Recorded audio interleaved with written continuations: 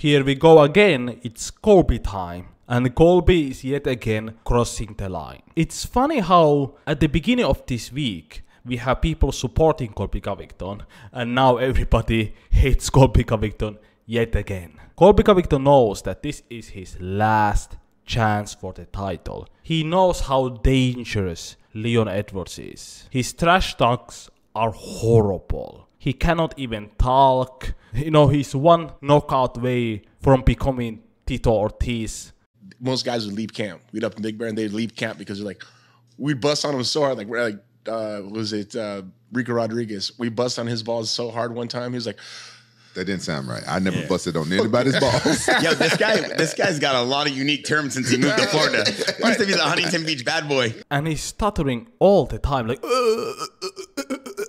he cannot deliver the lines at all and his lines is so cringy like it's something that like a 13 year old kid would say it's absolutely horrible people who enjoy Colby Covington's trash talk are low IQ people. Like, if you find this entertaining, you have a low IQ. Let's be real. All of these Colby Covington fans are either low IQ people or Trump fanatics. Which means the same thing. Like, if you're a Trump fanatic, you're a IQ person too, so. And these are the same people who are saying that you guys are a bunch of sensitive snowflakes because you're complaining about Colby Covington crossing the line.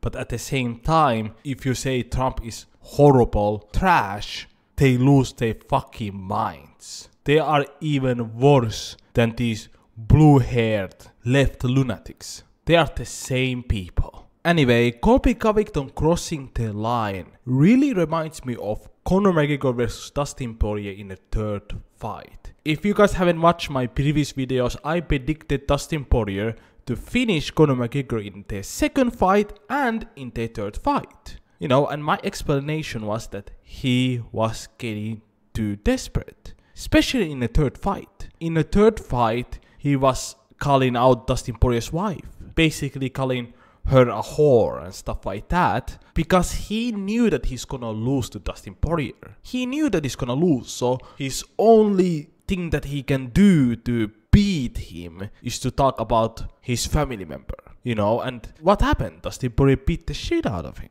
as expected. And I think that the same thing is gonna happen with Colby Covington. Colby Covington knows how dangerous Leon is. Leon beat Usman twice. Colby lost to Usman twice. Colby has nothing else going on except his wrestling and gas tank. Meanwhile, Leon is better grappler, better striker, better at footwork, clinch work, in every which way except wrestling and stamina. That's it. Plus, Leon is bigger. He was bigger than Usman. He has longer reach than Colby Covington and he's way taller. This is not gonna be good for Colby Covington at all. At all. Now, we saw Colby Covington getting the reaction out of Leon Edwards, and we have never seen Leon like this. Ever. Leon threw the water bottle at Colby Covington and he stood up and he couldn't sit.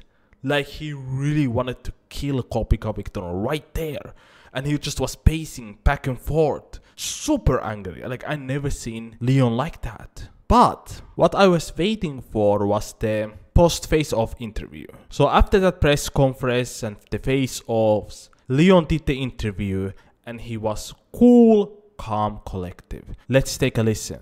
Have you had experiences like this before with opponents where they are trying to emotionally wreck you before they face you physically?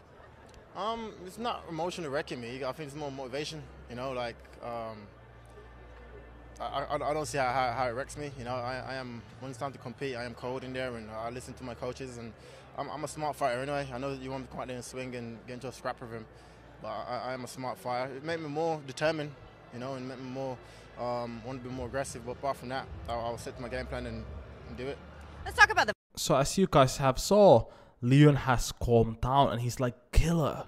Like he's like has that extra motivation and anger. But he knows that you're not gonna make me do dumb shit, you know? But I'm gonna kill you. Like this really reminds me of Jon Jones because Jon Jones is more than a fighter. Like he's a killer.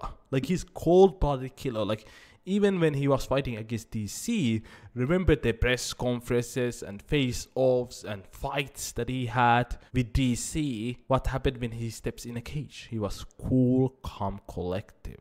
And I think the same thing is going to happen with Leon. I think Leon now has that extra energy, extra oomph to really beat the shit out of Colby.